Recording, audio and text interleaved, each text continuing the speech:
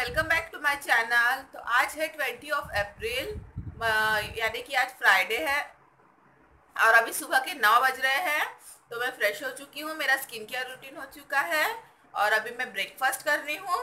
ये देखिए, ये है ऑमलेट ये ऑमलेट और ये ये चिवड़ा। तो मैं, आज का मेरा ब्रेकफास्ट यही है तो मैं अभी ब्रेकफास्ट करूँगी, उसके बाद में कल का वीडियो एडिट सारे काम तो कर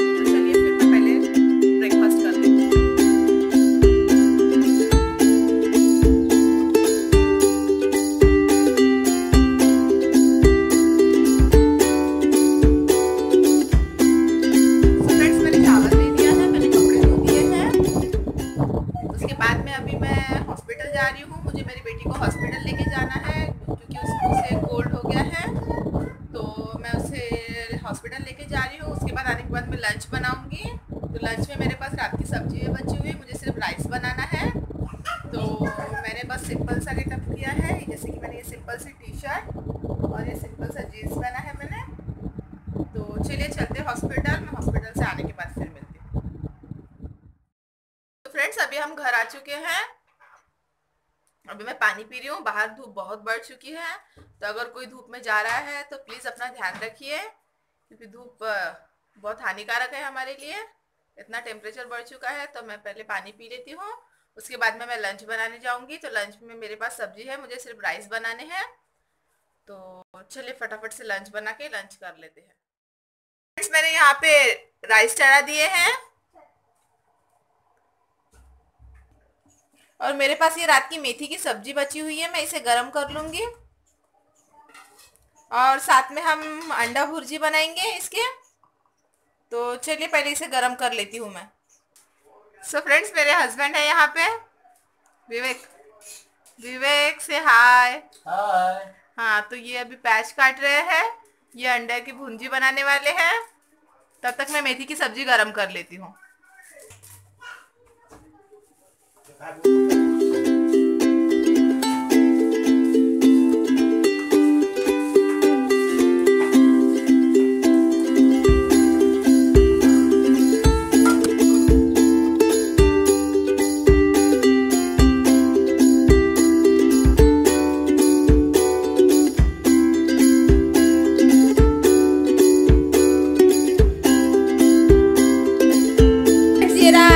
हमारा लंच ये प्लेन राइस है, ये दही वाली मिर्चियाँ हैं जो मैंने तल ली है।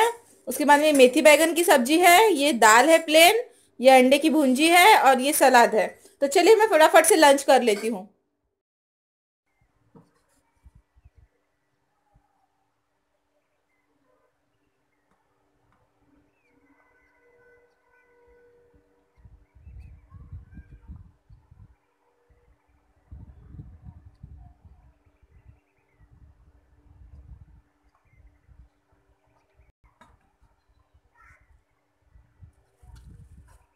सो फ्रेंड्स अभी बज रहे हैं शाम के साढ़े पाँच।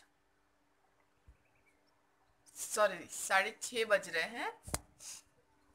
हम लोग आ गए थे जब भी हॉस्पिटल से। उसके बाद में हमने लंच बनाया था। फिर हम लोगों ने लंच किया। फिर उसके बाद हमारी जो हालत हुई है, मैं बता नहीं सकती। इतनी धूप बढ़ गई है गाइस सच में अगर कोई बाहर जा रहा है तो अपने साथ एनी टाइम पानी रखिए और किसी स्कार्फ से या जिससे हो सके तो आप खुद को प्रोटेक्ट करने की कोशिश कीजिए। बिकॉज़ हम लोग एक से डेढ़ घंटे के लिए हम लोग धूप में थे और हम लोगों की जो हालत हुई ना, बहुत। फिर भी हमने आते ही लंच बनाया। लंच में मेरे हस्बैंड ने मुझे हेल्प की लंच बनाने में। हमने लंच बनाया, फिर लंच खाया, उसके बाद में मेरी कुछ काम करने की हिम्मत नहीं हो रही थी, कुछ करने की ना व्लॉगिंग करने की हिम्मत हो रही थी तो मैंने सब वैसे ही छोड़ दिया और मैं तब से सोई थी तो मैं अभी डायरेक्ट छः बजे उठी हूँ। छः बजे तक हम लोग सोए थे। और फिर फिर भी अभी भी उतना ठीक नहीं लग रहा है मुझे, एकदम वीकनेस फील हो रही है, सर भारी भारी हो रहा है, बिल्कुल भी अच्छा नहीं लग रहा है।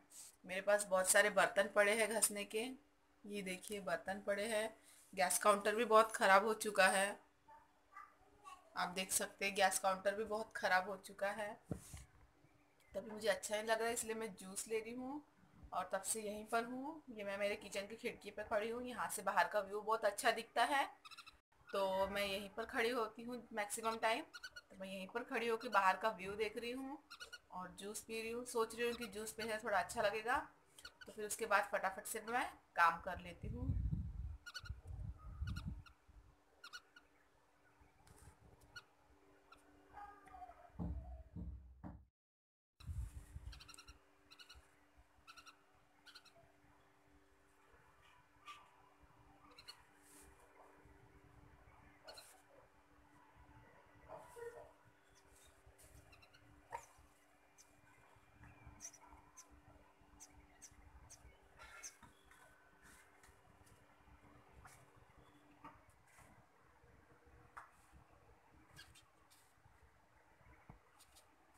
सो फ्रेंड्स ये है मेरे किचन के विंडो का व्यू तो मैं मैक्सिमम टाइम यहीं पर खड़ी होती हूँ.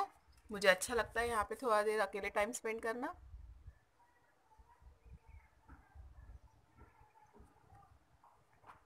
तो चलिए मैं फटाफट से जूस फिनिश कर लेती हूँ. उसके बाद में थोड़े बहुत काम है वो कर लेती हूँ.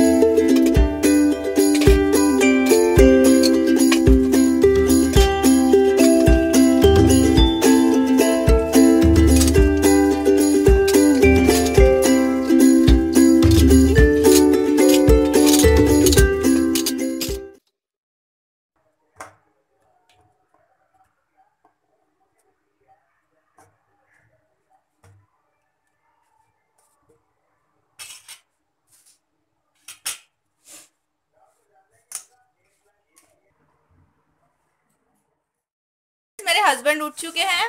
वो जो अभी दोपहर में ये गुलाब जामुन और कुछ मिठाई लेके आए थे तो गुलाब जामुन को मैंने डब्बे में ट्रांसफ़र कर दिया है।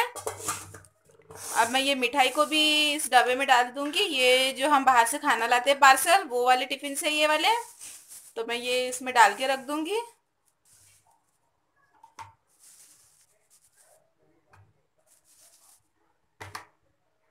सो फ्रेंड्स आधे मैंने वो व्हाइट डब्बे में रख दिए हैं, बाकी के बचे हुए मैंने इस डब्बे में रख दिए हैं। अब मैं इसे स्टोर करके रख दूँगी। सो so फ्रेंड्स मैंने मेरा गैस काउंटर क्लीन कर लिया है और बर्तन भी वॉश कर लिए हैं मैंने। सो so फ्रेंड्स यहाँ पे मेरी सब्ज़ी बन रही है। मैंने आलू और बैगन की सब्ज़ी बनाई है। यहाँ पे मेरे चावल बन गए हैं। उसके बाद में मेरी रोटी भी हो गई है। तो अभी हम लोग डिनर करेंगे। और डिनर होने के बाद में फिर मैं स्किन केयर रूटीन करूँगी तो तब मैं, फिर मैं मिलती हूँ।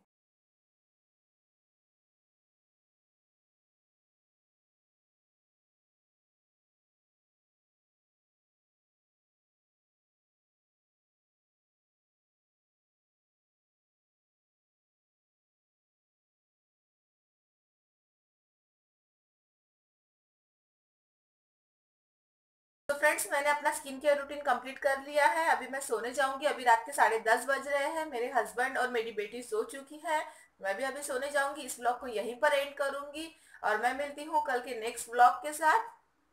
कल मुझे साबुदाना की चकली बनाना है। मैंने साबुदाना भिगो दिया है, उसमें आलू डाल के मुझे चकलियाँ बनाना है।